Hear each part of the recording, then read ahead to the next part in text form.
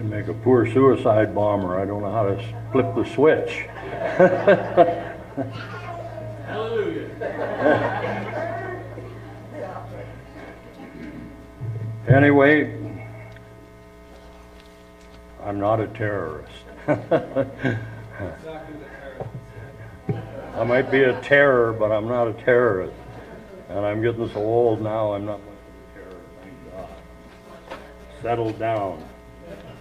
Well, greetings, brothers and sisters, and welcome to all. I'm so glad to see everybody that has come here. I'm just really glad to see, actually. But uh, we've uh, arrived once again. It's it's my uh, it's my annual vacation, my holiday. It is. It's a holy day, and and it's a holiday, and it's the only holiday that that my wife and I ever take, other than maybe to visit relatives. And we're very, you know, I I, I, I wait from year to year to to come and and keep this feast and have this time together with others of like precious mind and that. And and so, oh dear, wrong way. To go that way.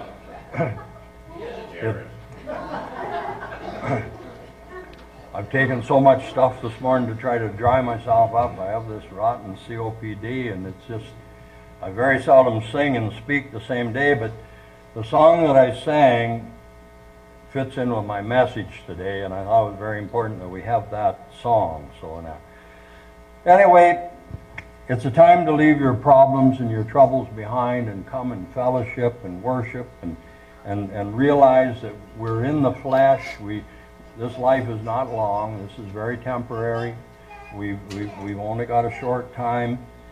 Uh, another thing we think of at this time of year, of course, is the wonderful millennial reign of our Lord and Savior as King and King of Kings, and the wonderful opportunity that we have as first fruits of the kingdom to, to, to be there with our Savior as His priests and and uh, when the, when the great harvest begins, the, the, the, time of the great harvest, when Satan is taken out of the way, and, and well, I long for that day. And so today, my question to you is do you have peace? Do you have peace in your life? Have you got that peace? It's, it, it's a wonderful peace, and, and, and the peace that only faith in God can bring in this world. It, it, and this is a feast of peace. Uh, you know, Isaiah 9, uh, verse 6 calls Jesus the Prince of Peace. Talks about other names for him. Actually, I've got a list of 53 names in my briefcase that are descriptions and names for Jesus in the Bible. So many different uh, names that are, are, are, given to, to our, our blessed Savior throughout the Bible. He is the Prince of Peace. He's coming as the Prince of Peace to bring peace to this world. He taught the lesson of turn the other cheek, not the eye for the eye, and that. Now, of course, we live in a world that no peace in this world. And um, with, without God, there is no peace. You know, people people try to broker peace. We have we have politicians and and what that uh, not that go around the world trying to broker peace and and uh, and they will never broker a lasting peace. It it will not happen. The carnal man doesn't know peace, and uh, the world has has has not known um, peace forever. I mean, read your Bible and you'll find out that it's been wars, wars, and wars from the beginning of time all the way down, uh, you know, uh, through the centuries. We've had some horrendous wars, and there, we still have wars in the world. It goes on and on, and right from the time of Cain to the present time, there's been no lasting peace in the world. There could have been, but there isn't. And so we sit here on a time bomb now, not knowing when it's going to explode. The world is a dangerous place, It's become a scary place. Um, certainly, we we've um, had numerous disasters, and they seem to, uh, according to the meteorologists I was listening to here a while ago, when when the big uh, hurricane hit uh, down in Texas, he said these storms are, are are becoming greater and greater in velocity as time goes on, and and uh, I mean look at the destruction in, in in southern Texas, and then right after that now. Florida and, and, and Puerto Rico and all those islands where the, the big cruise ships go to, and that's, that's their main income is tourism. They're, they're all in a world of hurt. The whole world is in a world of hurt. we, uh, you know, we're, we're living in a, in a, in a time when, uh, when things are not very good in this world. And yet we go on and on, and many people are completely oblivious to what's going on in the world.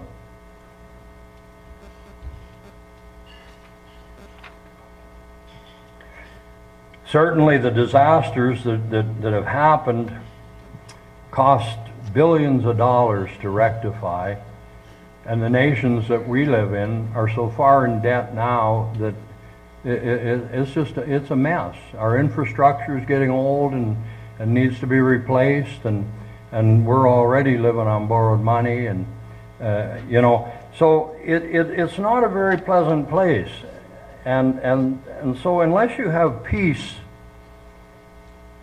with God and with our precious Savior, you won't have any peace in this world. You know, people are not content. People are looking for contentment in all the wrong places, you know. I, I, I see a world where people are so deep in debt and yet they still want to do everything and, and go everywhere and take vacations and stuff. They think, oh, if I could just take an exotic vacation, the stress would be gone from my life. Well, that, that's good for about a week. and then you come back and realize, wow, I, I, I just spent two years worth of mortgage payments, you know. Why didn't I pay that down on my mortgage or something to get myself out of debt? You know, like that, that would be more peace of mind, certainly for me, than, than you know, than, than, you know, than a vacation. They, uh, they just don't, uh, they just don't work for me. We're living in a world that I, I don't know. Uh, I don't know that I'd want to travel a lot now anyway. When you see what's going on, I mean, look at Look at Las Vegas the other night. My goodness. What a, what a deal. I mean, just peacefully there at an outdoor concert, and all of a sudden the, the bullets start flying every direction and that. We just had a little incident up in Edmonton, Alberta with a, and that was supposedly a terrorist one. That, uh, that guy was a radical. And um, nobody was killed, but he rammed his car into a police cruiser and jumped out with a knife and started Oh no, he hit the policeman that was standing directing traffic, yeah, and then hit the cruiser, and then jumped out and started stabbing the policeman with a knife. You know, we see all kinds of crazies in the world. I was at a um, a funeral this summer for a lady, and, and her daughter, who lives in France, came over for the funeral. And uh, while we were uh, after the funeral and that, I, I went over to talk to her. I'd never met her before, but she looked so much like her mother. I had to go and talk to her. I, I, I said I would I would, you know, swear your mother was still here when I look at you, and that. And so I said, what are things like in France? And she said, well, in France, people are scared. She said people are nervous. They they don't know when you know and when and where the next attack's going to come from. She said there's it, it, it's very scary. And, and so, and that, that's the way the world's getting to be. It, it, it's, uh, it's getting to be a scary place. And so we need to, uh, we, we need to keep a close relationship going with our God and, and, and, and, and, and search for this peace, this wonderful peace, this peace that passes all understanding, as the Apostle Paul called it. I was a a, a workaholic in my younger days. I, wa- I wanted to get wealth. I, I, I didn't. I, I walked away from everything to do with God and religion as a young man because I was raised in an old Wesleyan Methodist type church, and my father kept telling me that I was I was going to be hot for eternity, and and I didn't want anything to do with that. I had read my Bible. I had a little New Testament when I was a boy, and I kept asking my mother and dad why we were going to church on Sunday. I said, I'm reading in this little New Testament, Jesus went into the synagogues on the Sabbath and that. Why do we go on Sunday? Well, they they concocted some answer for me. I forget what it was. Something about a day was lost in time or something, and that I didn't buy it. And so I walked away. And I I I had you know if if I'm lost for eternity, like they tell me, I'm going to have a good time. And I I became a um, long distance trucker, and I ran all over the United States and Canada. And uh, I used to get this program on my radio during the night when I was driving, the World Tomorrow program. And it started to, you know, work on me. I thought, hmm, maybe there's more people in this world that, that don't think Sunday's the right day. and that. So anyway, I was trying to run from God. I didn't want anything to do with this thing and that. So it, it took a couple of um, very serious wrecks for me to finally get the the switch turning on here. You know, I was I was nearly killed in 1975 in a wreck, and only about three months after I I, I met the woman who's my wife of 40 years now and uh, boy, it it, uh, it it started to wake me up, but not totally. I was still in a bit of a daze, and two years later, I had another wreck.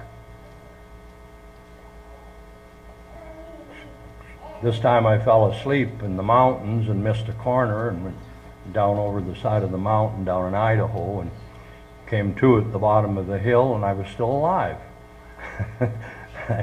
the blood was shooting out of my leg, and every step I took, the blood was shooting. I had to climb up the side of this mountain to the road. And the sheriff was sitting up there when I got there, and he took me to the hospital. And I laid in the hospital for two weeks after that one, not knowing whether I was going to lose my leg or not.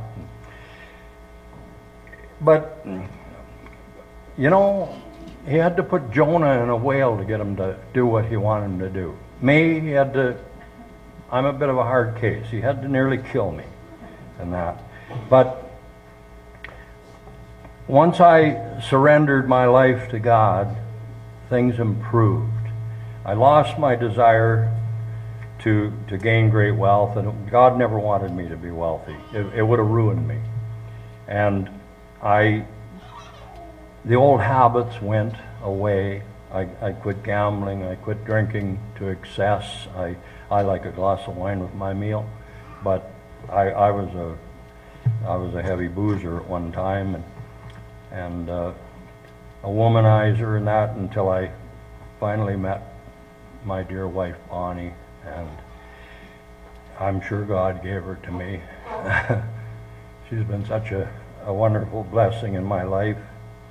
Neither one of us had any any idea that we would ever end up in a church but when we did, we ended up there together. We were baptized together. And we've had 40 wonderful years as of last April um, uh, of marriage. And, and God has blessed us so much. And my wife is not one who, who wants to travel or do things. She's very, very good with the money. She's very close with the money. I have to squeeze her to get anything out. and, and that's good for me because I'm a spendthrift. And so we have the right combination. She hoards it and I spend it. and so even to get her to leave home and come to the feast, she doesn't need she doesn't she she just loves her home. She doesn't want to she doesn't want to travel. She doesn't want to do anything, and that's very good. That's that's very wonderful. You know, because I've seen all of North America through the the, the windshield of a of a truck. So I, I you know I'm like the old I've Been Everywhere song and that, you know, and that. So together we have learned contentment, and that, that's what we need in our life is contentment.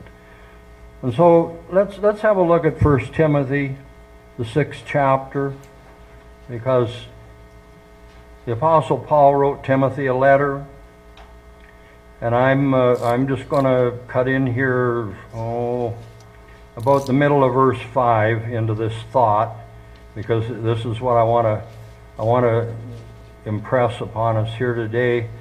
Uh, supposing he, he, he, talks here about well we'll start at the start of verse 5 per, perverse disputings of men of corrupt minds and destitute of the truth supposing that gain is godliness from such withdraw yourself but godliness with contentment is great gain. Keep that thought. Godliness with contentment is great gain. And then he goes on to tell him, We brought nothing into this world, and, and we're not going to take anything out of this world. And so in verse 8 he says, And having food and raiment, let us be therewith content. If people in this world could learn that contentment, what a wonderful place it would be. because where we live now, I'm sorry to say, but uh, we're just like the Israel and Judah of old. The developed nations of the world have forgotten their God today. They, they, they don't want him. You just look around. They're chasing God out of everything. They, uh, they, they, they don't, you know, they, they don't want anything to do with this God. And that's the way Israel and Judah got. I mean, I've just been reading the through the prophets and and take, taking my annual trip through the Bible and that.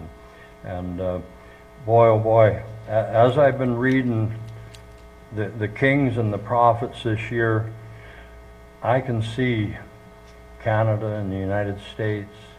I, I, I can just see it. I, I can just think that Israel and Judah had gotten to that point uh, that, you know, that we're at today.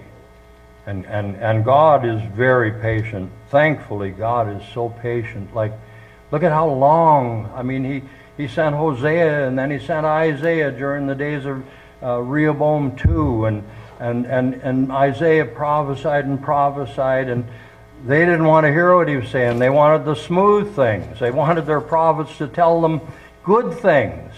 And, and Isaiah didn't have a lot good to tell them except that there is a wonderful time coming in the end of it all. But if you want to go to Isaiah 59, let's just have a wee peek here at Isaiah 59. Verse 1 Behold, the Lord's hand is not shortened that it cannot save, neither his ear heavy that it cannot hear.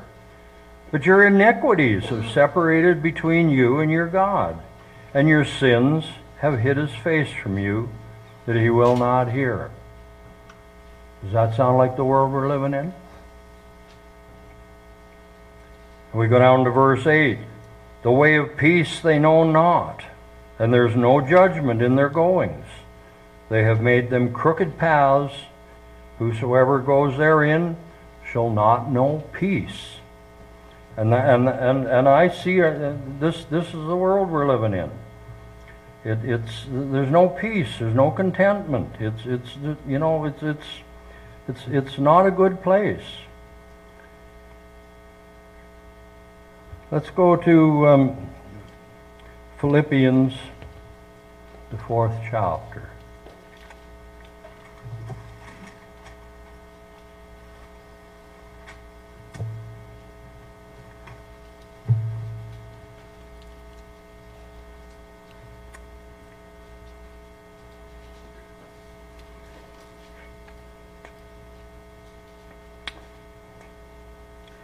Again, um, I want to talk about contentment here because the Apostle Paul, he knew a lot of trouble in his times. He, he, uh, he didn't have a cushy job. None of the apostles did. It wasn't anything that you'd go out and volunteer for, I don't think. And And certainly the, uh, uh, to be a prophet wasn't that uh, cushy a job either. And so in, in verse 11, Paul uh, of chapter 4 of Philippians, Paul says, Not that I speak in respect of want, for I have learned in whatsoever state I am, therewith to be content. To just be content. And he said, I know, verse 12, both how to be abased and I know how to abound. Everywhere and in all things I am instructed both to be full and to be hungry, both to abound and to suffer uh, need. But I can do all things through Christ who strengthens me. Always remember that. You can do all things through Christ who strengthens you. But you have to have a relationship. You have to walk in obedience. He wants, he wants obedience from, from uh, his people. He, he's a loving God, and he loves us all, but he hates sin. And so, and of course, he knows. Jesus walked this earth. He knows what, what it's like to be tempted and tried and that. And we all sin and come short of the glory of God, but we have to, we have to continually grow and, and, and strive to walk in his ways and, and, and, and get a relationship and, and, and learn how to repent and, and change your ways. Certainly, um, you know, Isaiah came on the scene, and, and uh, uh, right away in the first chapter of, of Isaiah, you know, um, he gets this message. And this is even before his lips were touched with hot coals, or at least the way it's related here, anyway. And, and if we look at Isaiah 1 and verse 2, it says, Hear, O heavens, and give ear, O earth, for the Lord has spoken. I have nourished and brought up children, and they have rebelled against me. He said, The ox knows his owner, and the ass uh, his master's crib, but Israel does not know. My people do not consider. A sinful nation, a people laden with iniquity, a seed of evildoers, children are their corrupters. They have forsaken the Lord. They have provoked the Holy One of Israel unto anger. They are gone away backward. This is the world we're living in. And so we have to we have to have a relationship. There, there's there's a remnant here. There's there's a, there's a a faithful few that that that love God and are, are going to stay the course and are going to, you know, to uh, probably go through some horrendous times. There's certainly going to be tribulation in this world. There is already. I mean, ask somebody who lives in in southern Texas what tribulation's all about, or somebody living in Puerto Rico, see, or, or somebody who's just suffered an earthquake. These people know what it's like to, to have tribulation and that. And, and, and so it, uh, I believe there's going to be more and more of these things go on as time goes on. And if you don't have hope in God, you have no hope. You have no hope. You know, we, we need to be so careful as God's people that, that, that we don't get caught up in this in this um, Babylonian system too uh, too bad. If we Romans 12, and, and you've heard this over and over, and I, I really want you to think about this. Romans 12, verse 1. I beseech you, therefore, brethren, by the mercies of God, that you present your bodies a living sacrifice, wholly acceptable unto God, which is your reasonable service. And be not conformed to this world. Boy, that, now that's a tough one. But we need to be careful that we don't get you know, caught up. Be not conformed to this world. Be transformed by the renewing of your mind, that you may prove what is the good and acceptable and perfect will of God. That, that's, that's not easy.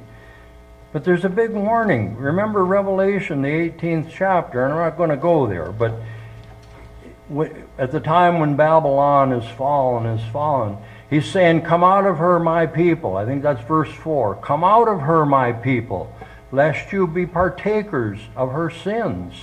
And, and, and, and this is something uh, as people of God that we have to be careful that, that, that we, you know, that we don't get too conformed to this world. God is faithful. And, and reading the, the prophets recently, like my memory is getting so bad that, you know, I can read something today and it's gone tomorrow and that. So I have to, I have to continually keep my nose in this word. And and it's in my heart, but sometimes it doesn't want to come out of my head. I, I think of, uh, of Psalm 119, verse 11 Thy word have I hid in my heart, that I might not sin against thee. That's, that's a dear verse to me. And so I have to work hard at this, but I take comfort in knowing that God can protect you Look at Jeremiah, the 39th chapter. Poor old Jeremiah suffered so much as a prophet. I mean, he was he was cast in the pit. He was ridiculed. He he cried out to God that he wanted to quit, and yet he couldn't. He said, "I can't. I can't stop. I have to keep going." And look at how God looked after him. After all he'd been through, when Nebuchadnezzar's army came the third time and destroyed Jerusalem, chapter 39, Jeremiah, the 11th verse, look, look at this. Now Nebuchadnezzar, king of Babylon, gave charge concerning Jeremiah to Nebuzaradan, the captain of the guard, saying, Take him and look well to him. Do not harm him but do unto him even as he shall say unto you. Isn't that protection? Like, like think about it. it, it it's wonderful. If God wants to protect you, he'll protect you. And you don't have to worry about it. You, you just stay close. Like, stay close. I, I, I, another one that I just was reading the other day in Ezekiel. And, and I, I, you know, I never, never thought about this, but you know, in the ch- chapter 8 of Ezekiel, how, how Ezekiel talks about being um, taken in the spirit and lifted up, and, and, and, and now he's, he's already in Babylon. This is at the time of the first, the first group that was taken out, Daniel and, and those that, that were taken to Babylon. But here he is, he's taken in vision in, in chapter 8, verse 3 to Jerusalem. And then God shows him all these abominations. He shows him in verse 14 the women sitting weeping for, for Tammuz. Uh, um, and then he, he goes on to tell them, I'll show you even greater abominations. And in verse 16, he said, he, he said, look at this. Between the, uh, let's see, verse 16. He brought me into the inner court of the Lord's house, and behold, at the door of the temple of the Lord, between the porch and the altar, were about five and twenty men with their backs towards the temple uh, uh, of the Lord and their faces towards the east, and they worshiped the sun towards the east. That was a Sunday morning sunrise service. It, it, you know, but but here's what I what what struck me in this, because he's about to send these men to destroy it all, and so in chapter nine we see uh, a, man um, with, with, an inkhorn, which they carried uh, that they could write and so on and so forth. So in verse 3, we see um, about the middle of the verse that he called to the man with the clothed with linen, uh, which had the, the writer's inkhorn by his side. And, and the Lord said unto him, verse 4, Go throughout the midst of the city, through the midst of Jerusalem, and set a mark upon the foreheads of the men that sigh and that cry for all the abominations that be done in the midst thereof. They were marked and they were spared. You see? It, it, it's wonderful. It, it's, it's a beautiful thing. God knows His own. I pray today that, that, that, that you, you sigh and you cry at the abominations that are going on in our world. It, it, it, it's, it's very, very very sad that, you know, to think that we, we have such a wonderful God and yet people don't want anything to do with him. They don't, they, they don't want, they, they don't want anything to do with it. It- it- Just throw them out, get rid of them. We've been overtaken by pride and greed and vanity and covetousness and, and, and, and we need to, we need to really stay close to God as we go forward. I just read an article in a magazine. I think it might have been the Bible Advocate. I don't know. I, I'm, you know, I do a lot of reading, and uh, but I think it was it was it was written by a woman, and she was writing about how addicted she had become to her iPhone. She said, I, I became so addicted to my iPhone that I, I can't even sit down and concentrate to read the Bible. She said, I, it, it's, it's affected my prayer life and, and, and my time to meditate. She said, and, I've seen people that were so addicted to those things that, you know, you, you, you see them walking down the street and their, their heads down like this and, and they walk out uh, off the curb and it's a wonder somebody didn't run them over. Probably they do, some of them, and that. And she said, I had to, I had to learn to control that iPhone, not let that iPhone control me. We can get caught up so bad in all these devices today. My dad used to call them devices, D for devil. and of course, I don't have an iPhone, so I, I wouldn't. I, they, they, somebody hands me an iPhone to look at a picture, and I get nervous.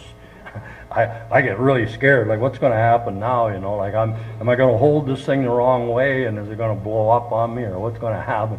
I got an old flip-top phone. I was upset when I had to trade in my old one and get one you could put a SIM card in.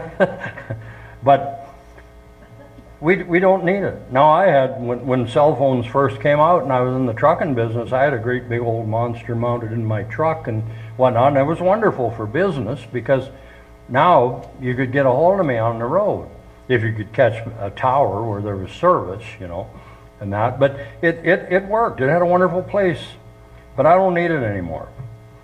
I, all I got's an old laptop computer, and the only thing I know how to do with it is send the email out to the odd person and and uh, look up a few websites or something. But other than that, uh, it it it's gone I mean, I'm not a techie.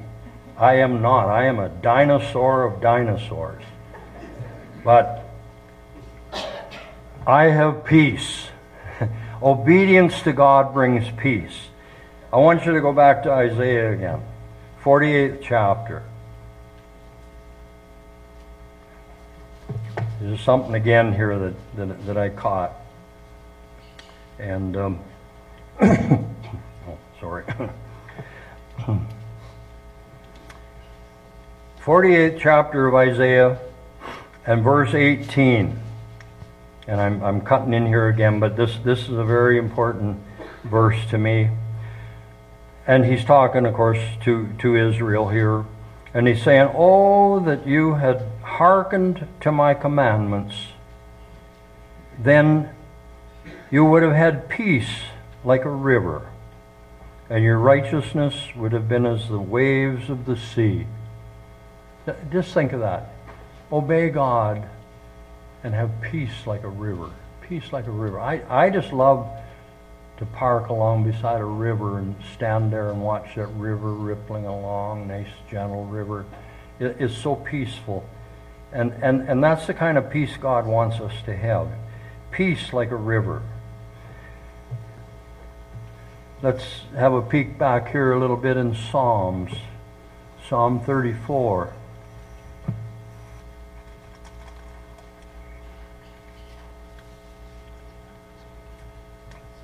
Psalm 34, verse 14.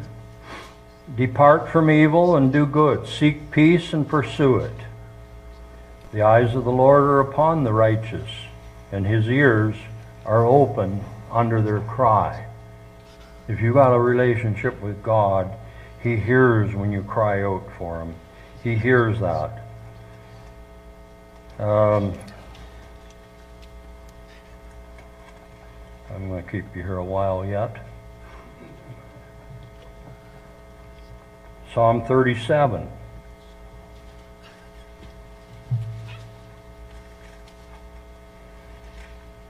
Psalm 37, verse 11. The meek shall inherit the earth and shall delight themselves in the abundance of peace. Peace, peace well, we're still in this one. Uh, let's go to verse 37. Mark the perfect man and behold the upright, for the end of that man is peace.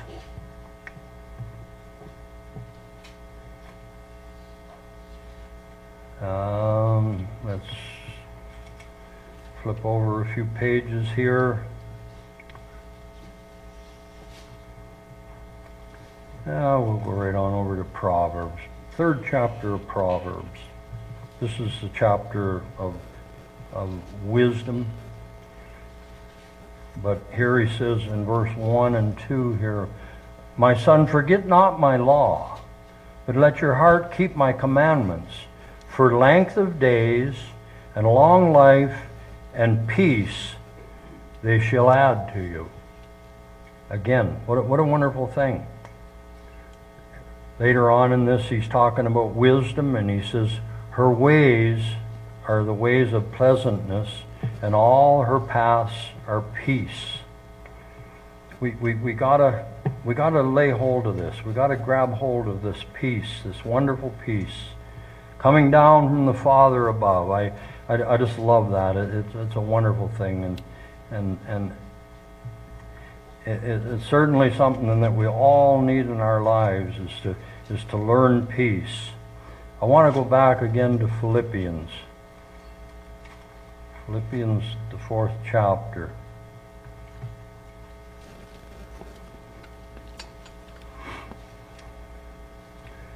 Philippians 4. Verse 4 Rejoice in the Lord always, and again I say rejoice. Let your moderation be known to all men. The Lord is at hand. Be careful for nothing, but in everything by prayer and supplication, with thanksgiving, let your requests be made known unto God. And the peace of God, which passes all understanding, will keep your hearts and your minds through Christ Jesus. Isn't that beautiful? Like, like we, we, we have to lay hold of this. We have to, we have to grab onto this wonderful peace that God wants us to have, and not get caught up in the things of this world that distract and and and take us off the track, derail us. We need to stay the course. Romans five.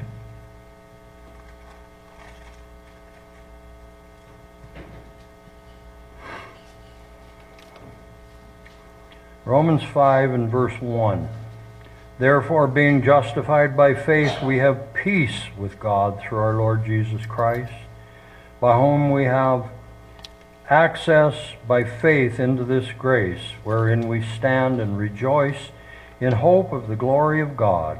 And not only so, but we glory in tribulations also, knowing that tribulation works patience, and patience experience, and experience hope and hope maketh not ashamed, because the love of God is shed abroad in our hearts by the Holy Spirit, which is given to us.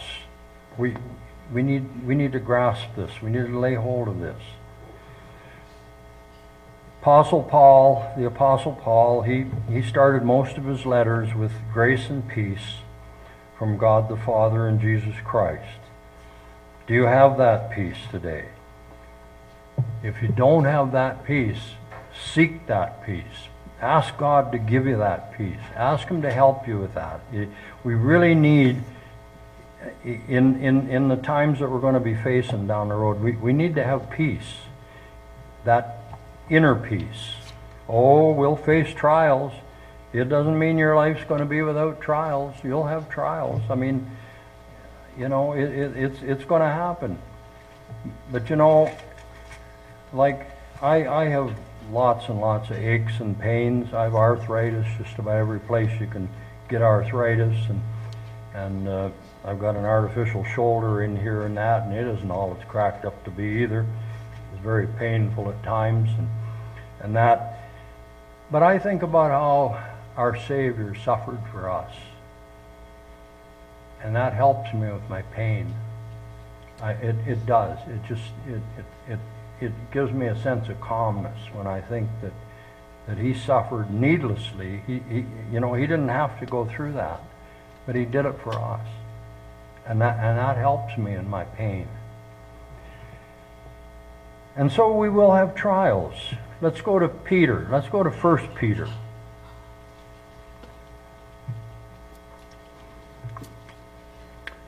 First Peter chapter 4, verse 12. Beloved, think it not strange concerning the fiery trial which is to try you as though some strange thing happened unto you.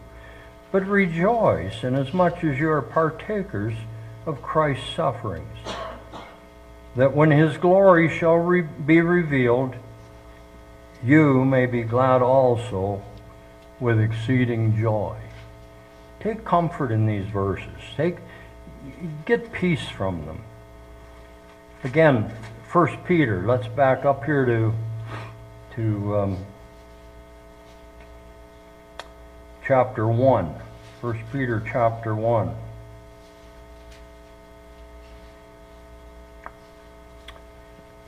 Yeah, we'll start right at the start here. Peter, an apostle of Jesus Christ, to the strangers scattered throughout Pontus, Galatia, Cappadocia, Asia, and Bithynia, elect according to the foreknowledge of God the Father through sanctification of the Spirit unto obedience and sprinkling of the blood of Jesus Christ, grace unto you and peace be multiplied. Blessed be the God of, and Father of our Lord Jesus Christ, which according to his abundant mercy hath uh, begotten us again unto a lively hope by the resurrection of Jesus Christ from the dead. A lively hope. This is, this is a lively hope. This, this, this hope, you know, you go out and you buy a, a, a lottery ticket, and, and uh, I don't, but people do. And they hope they're going to win. They hope their numbers are going to come up in that. That's not the kind of hope this is. This hope is a lively anticipation. It, it, it, it, it means something. This is the hope that, that, that, that we have as, as God's people. And so we need to lay hold of this. And the only way we can have that is to know that Jesus Christ was resurrected from the dead, the firstborn, the first fruit of many first fruits. And, and, and, and, and that, that is, is what sustains us and keeps us. We'll go on in verse 4 here. To an inheritance incorruptible and undefiled, and that fades not away, reserved in the heavens for you, who are kept by the power of God through faith unto salvation, ready to be revealed in the last time. And he goes on, he said, Wherein you greatly rejoice, though now for a season, if need be, you're in heaviness through manifold temptations. Oh, Satan's still out there. Boy, oh boy, I'll tell you, uh, he um, he still doesn't leave me alone. I have to fight him. I have to fight him constantly. He he he just loved to bring us down. That, that's his job. So so so don't don't worry about it. If you if you're being tempted and that, like like just Stay close to God. Don't let Satan get a foot in the door. He goes on to say in verse 7 that the trial of your faith being much more precious uh, than of gold that perisheth, though it be tried in the fire, might be found unto praise and honor and glory at the appearing of Jesus Christ, whom having not seen, you love, in whom though now you see him not, yet believing, you rejoice with joy unspeakable and full of glory, receiving the end of your faith, even the salvation of your soul.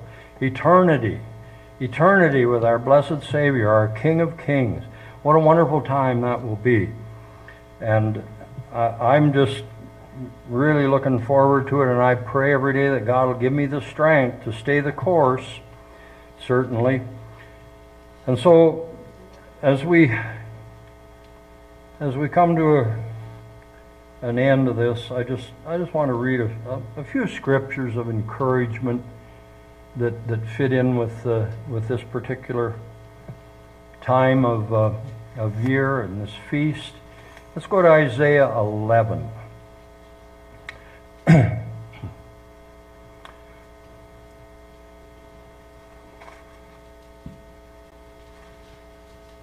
Isaiah 11. It starts out talking about the branch, another name for Jesus.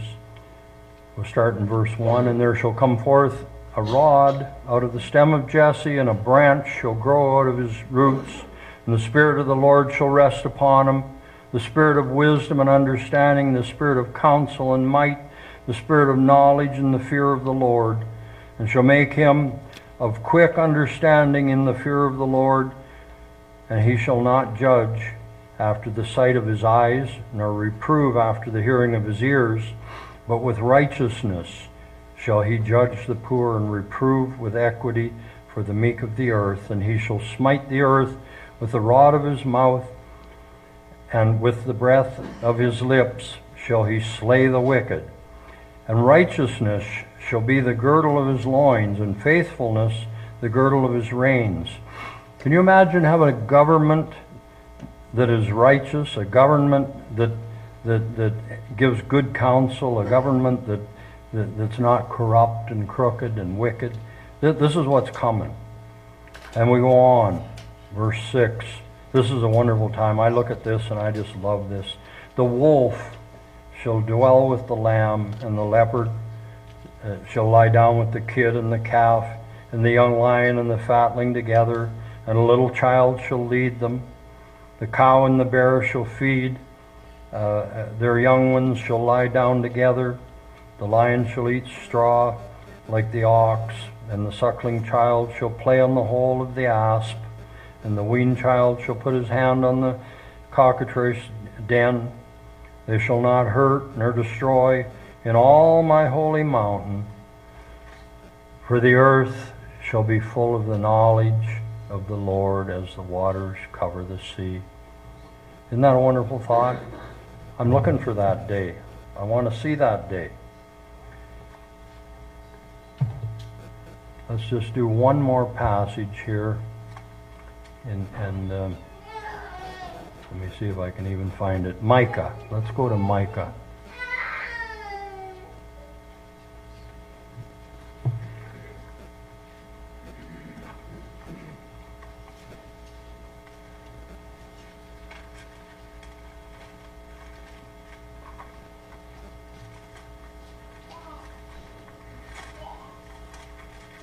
Oh, Gar.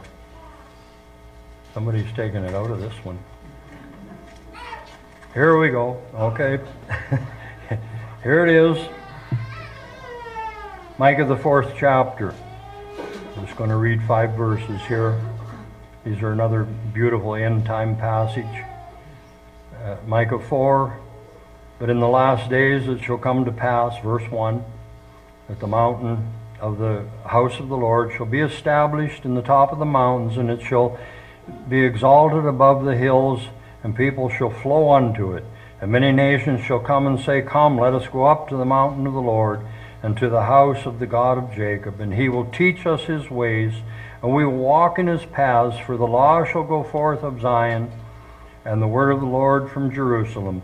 And he shall judge among many people, and rebuke strong nations afar off and they shall beat their swords into plowshares, and their spears into pruning hooks. Nation shall not lift up a sword against uh, nation, uh, neither shall they learn war any more, but they shall sit every man under his vine and under his fig tree, and none shall make them afraid, for the mouth of the Lord of hosts has spoken it. For all people will walk every one in the name of his God and we uh, we will walk in the name of the Lord our God forever and ever. So let us press on, brethren. Press on daily, praying, Thy kingdom come, praying for peace on earth and goodwill towards men. I want to leave you with a short little benediction here out of the book of Jude. It's a piece of scripture that I, I just love.